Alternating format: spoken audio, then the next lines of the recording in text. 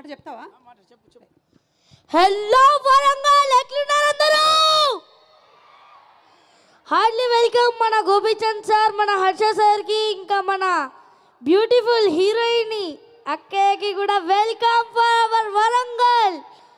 Thank you thank you so much Harsha sir for giving me this opportunity in Bhimaa movie and నేను కూడా మన వరంగల్ ముద్దు పెట్టారా? కానీ చాలా మందికి తెలియదు కానీ ఇప్పుడు చూస్తున్నాగా మన భీమా మూవీ మన రచ్చరవి అన్న చెప్పినట్టే ఎయిత్ మార్చ్ రోజైతే ఖాళీ బాక్స్ ఆఫీస్లో ఖాళీ క్రాకర్స్ ఇందాక పేల్చినట్టే పేల్వాలే చెప్తున్నా ఖాళీ.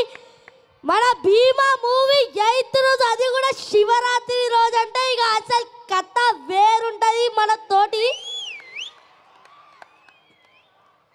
ఇంకా thank you so much Harsha sir ఎవరన్నా ఇక్కడ మన హర్ష సార్ ఫ్యాన్స్ ఉంటే ఒక్కసారి క్లాప్స్ కొట్టండి మన హర్ష సార్ కోసం. అండ్ మన హర్ష సార్ అయితే సెట్లో ఎంత కూల్గా ఉంటారంటే ఒక మంచి ఫ్రెండ్లీ పర్సన్ అనొచ్చు మనం. అంత ఫ్రెండ్లీగా ఉంటారు మన హర్ష సార్ ఇంకా.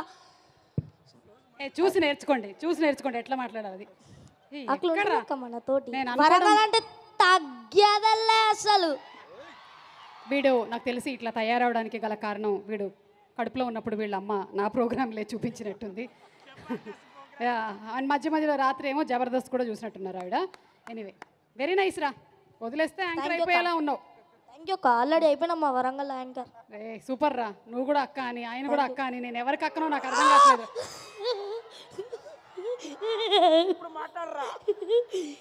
రచావ్యన కింద పడితే బొక్కలు ఎరుగుతాయి. వద్దు.